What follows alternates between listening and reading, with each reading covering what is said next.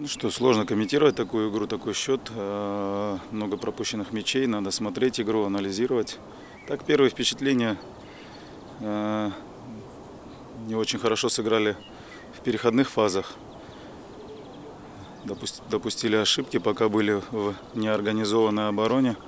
Соперник очень хорошо, грамотно использовал наши ошибки.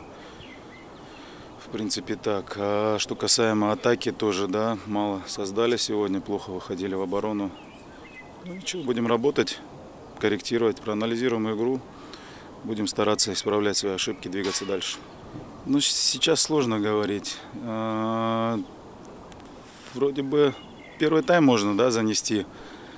Так, а, надежно, план то, что планировали, э, играли в обороне, дисциплинированно, хорошо были возможности, э, создавали, были подходы к воротам соперника.